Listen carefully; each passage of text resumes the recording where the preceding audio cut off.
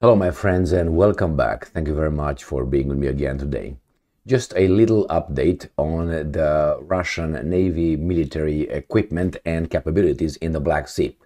The Russians come back and forth, um, they do all kind of maneuvers in the Black Sea, and sometimes they bring uh, Kalibr cruise missile carriers, sometimes they don't, sometimes they bring submarines, but they are maneuvering all the time. So the Ukrainians are obviously, I don't know if the Ukrainians or the guys from here tell the tell the Ukrainians how many uh, vessels carrying Kalibr cruise missiles they have in the Black Sea because when the Russians bring them in an um, how do you call it on standby position, usually in about three two day three or two days, uh, they um, launched a missile attack on Ukraine. So they're very they pay a lot of attention on these ones.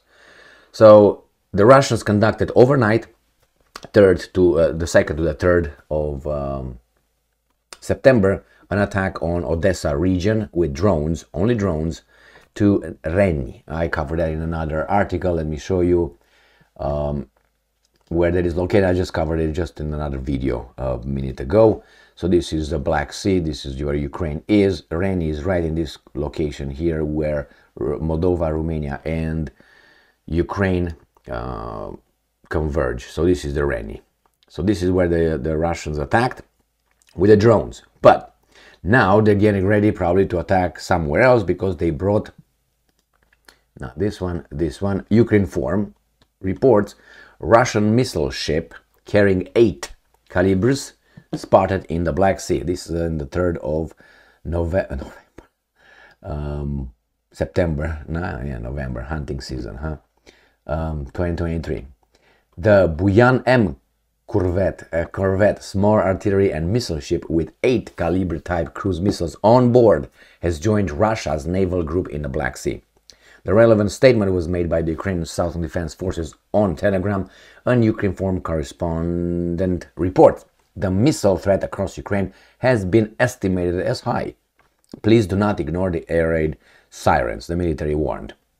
A reminder that on the morning of September 3rd, 2023, no missile, uh, no missile carriers were spotted among, among Russian warships in the Black Sea. So, in, today in the morning, there were no missile carriers. Now in the afternoon, I think right now is about uh, 7 o'clock, 7 p.m. No, I think, I know it's 6.48, let's put it. Uh, there would be this one carrying eight cruise uh, Kalibr missiles. We'll find out. They usually, uh, I didn't hear anything about the bombers taking off, coming to the Caspian Sea and releasing their missiles. Usually that's uh, in tandem and, co- in coordination with uh, air and sea attacks, seaborne or airborne. So here is, my friends. Thank you very much for being with me again today. We'll see if the Russians will conduct any missile attack overnight. Stay strong, stay smart, look for the truth, and be just.